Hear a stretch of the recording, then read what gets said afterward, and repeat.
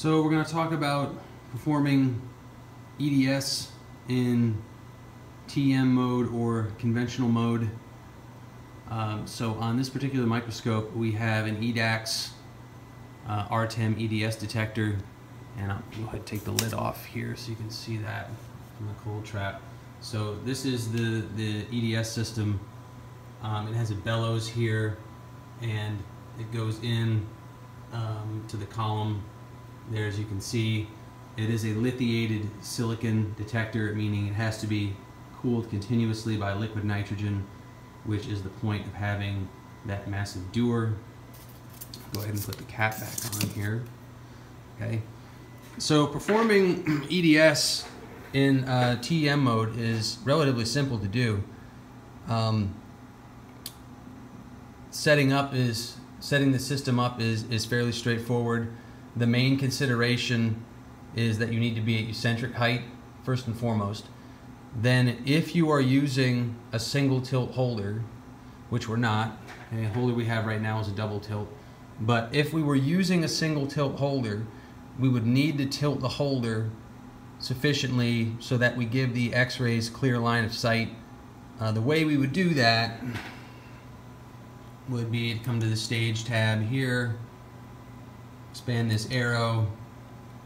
Down here where it says set alpha, you would put in 15 degrees and then you would hit set alpha and then that would set your alpha to an angle that is sufficiently high for you to get uh, detection with the single tilt holder. Again, we're not going to do this because we don't have the single tilt holder and we don't have to. The double tilt holder is designed in such a way that no tilting is necessary to get uh, an EDS uh, or an X-ray signal to the detector. Okay, so we won't do that. So anyway, I've got my sample at eccentric height, and right now, I'll go ahead and you can see here, go ahead and increase the magnification a little bit. Okay, so I've got a bunch of different layers here on the sample. This is a sample, um, the same one used for the high resolution demo. So we've got a bunch of different layers here uh, and a bunch of different elements. So it's a good sample for doing um, EDS demonstration. Um, I am at spot size 1. That usually works fine for doing EDS. Okay, so I come down here to RTEM control, select in.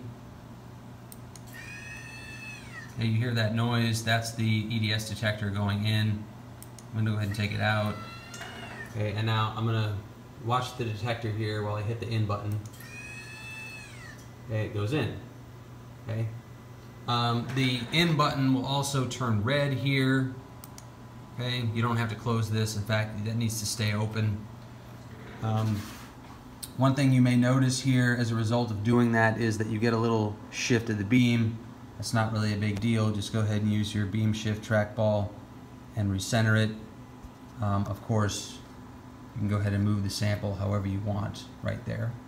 Okay, so now we're ready to collect an EDS spectrum. Okay, so come back here. There's an EDS tab. Okay, and basically everything's done in this EDX uh, control panel. Okay, so um, one of the things you can set is what's called the dispersion, um, which basically specifies the uh, spectral resolution and what's called the process time, or sometimes referred to by EDAX as the amp time. And so there's two separate um, configurations for the dispersion in terms of the resolution per channel. So five, actually there's three, there's 5, 10, and 20. 5 is going to give you the best resolution. If you do 10 or 20, the advantage that will give you is it will allow you to detect higher energy x-rays. Um, normally, we always do this um, at uh, 5 EV dispersion. And then as far as the process time goes, um, on this particular instrument, you can usually use the fastest process time, which is 12.8 microseconds, and there are ways to program in um, faster process times. But empirically, I haven't noticed a big difference between 102 and the 12.8. Um, in principle, a longer process time should give you better energy resolution, um, but obviously there's a point at which it's just simply too long and you're not really getting any additional benefit and you're just slowing down your spectrum collection. So we'll leave it right here and actually we'll, we'll demonstrate how this works here in a minute, okay, but we'll leave it at 5 EV per channel and 12.8 um, microsecond process time. And now I can select view here. Okay, and this is just giving me like a live view every 60 seconds, which is what's programmed in here in live time.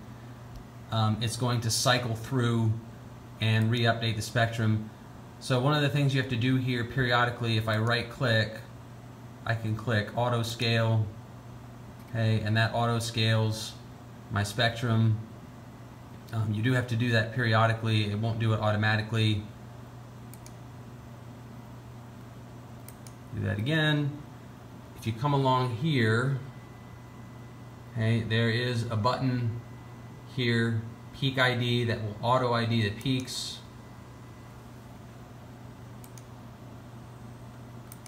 Okay, so you can see I've got lots of different elements in here. I've got platinum, iridium, um, I have a silicon substrate and I've got molybdenum which is from the grid. I can also come down here and I can tell it to label my transitions. So I've got my K alphas and my L alphas and my other transitions as well. Vertical auto scale again so you can see. Okay, so right now um, I'm getting this input counts about 6,000 counts a second. My dead time is around 30%, meaning 30% of the time my detector um, is off and not actually um, displaying counts in the spectrum. So one thing I can do here, just to show you this, if I make my dispersion, so let's say I go to 51.2 microseconds here for the same EV per channel. Okay, you can see now my dead time went way up. Okay, so my dead time went way up um, as a result of doing that. Okay, and so now my counts um, per second, or my output counts per second to the spectrum is now reduced. So now, because I made that process time longer, um, I'm getting, or my detector um, is spending more time off processing the pulses, so it takes a little longer to do. In principle, this should give you better energy resolution. In practice, I haven't noticed a huge difference between the 12.8 and the 100.4. So you probably have to make the process time a lot uh, shorter than this before you actually saw an effect. But if we come back down here, Okay, so now you can see my process time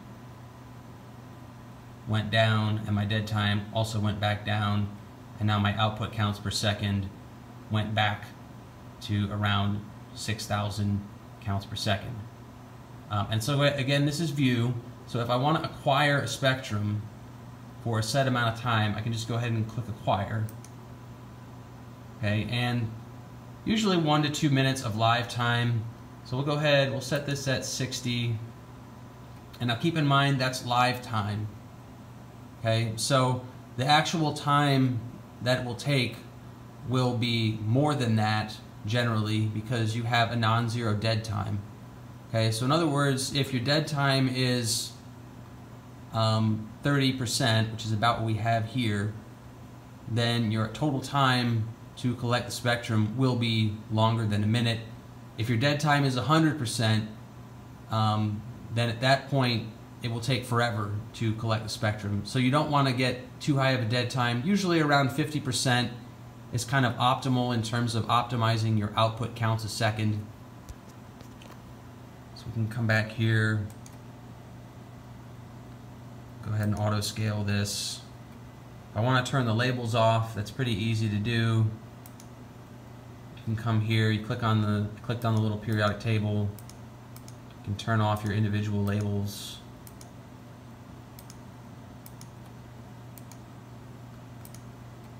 Okay, so we can see we've got 12 more seconds left and then this is going to be done.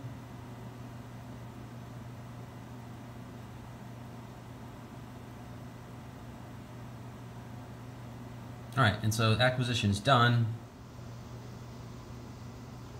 So we have our final saved EDS spectrum here. So some of the manipulations we can do with this, obviously we already showed this before. I can do an auto ID here, okay, and I can also tell it to give me the transitions. Um, one thing I can also do, instead of doing an auto ID, I'm going to go ahead and clear these.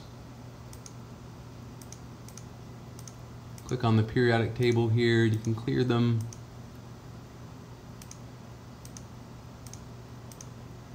Right, so if I know, for example, that there's silicon in here, I, or I'm looking for it, I can just pull up the periodic table here and click silicon.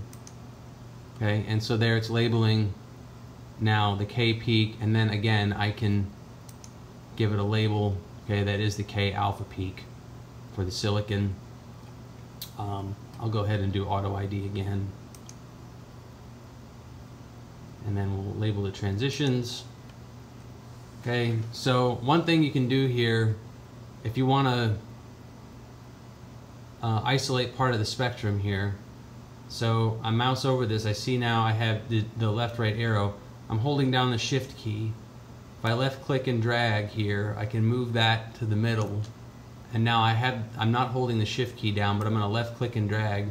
I can expand the spectrum, okay, just in that region. And then if I right click, I can do vertical auto scale and just expand the spectrum in that region. If there's a region that you're interested in in particular, um, you can do the same thing here with the, the Y scale. If you, um, if you left click and drag, right? So you can make your Y limit bigger or smaller. Okay, you can do the same thing if you shift. You can change the position. Usually, of course, you just want to put that at zero. I'm gonna just, I'll auto scale it, put it back, okay? Um, but again, I'll do the same thing here. I'll hold down shift, move that to the middle.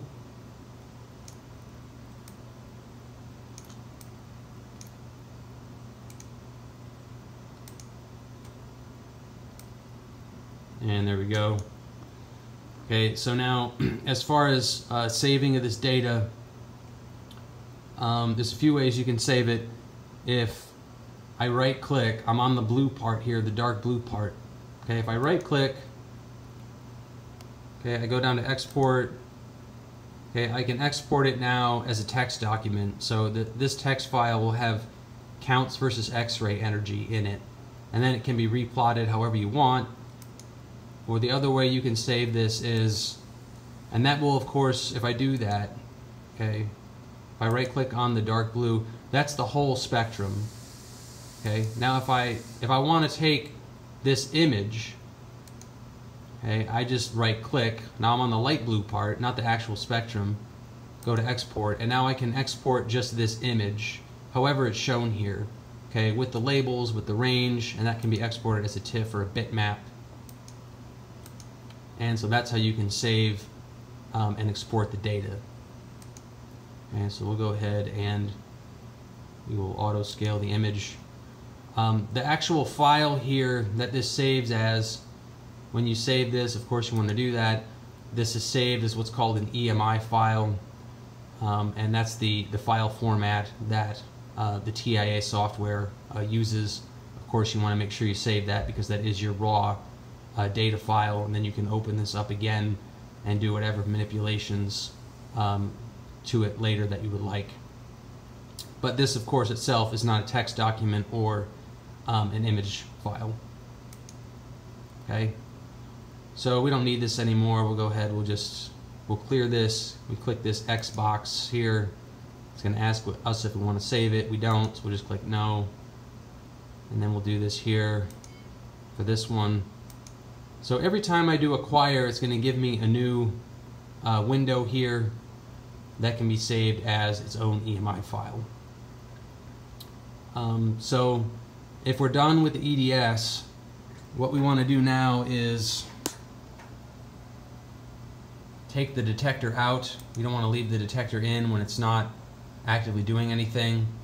Um, one thing you also want to be cognizant of here is that you don't want the detect or the beam to illuminate um, any part of the grid or any part that's basically not electron transparent because if that happens you will get an overload to the detector. Um, but if that happens um, it does have an automatic protection will retract uh, automatically. So actually if we look here okay so there's my my area okay so if I move now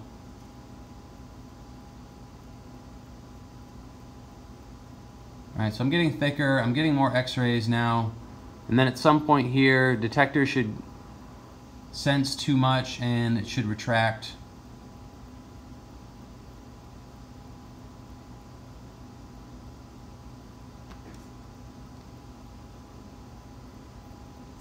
Yeah, okay, so you hear that noise.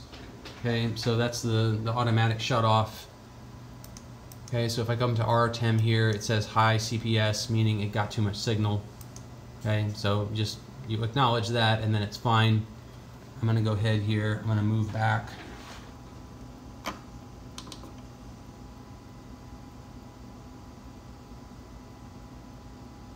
Okay, put the detector back in.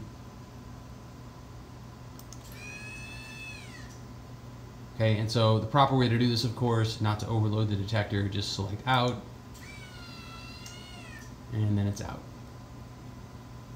Um, if you were using the single tilt holder, you would also want to go back to the stage tab, expand the stage 2 panel, and you would want to set alpha back to zero. We're not going to do that, obviously, because we don't have the single tilt holder. And this concludes the demonstration of operating the FEI Tecnai F20 for EDS analysis in TEM mode.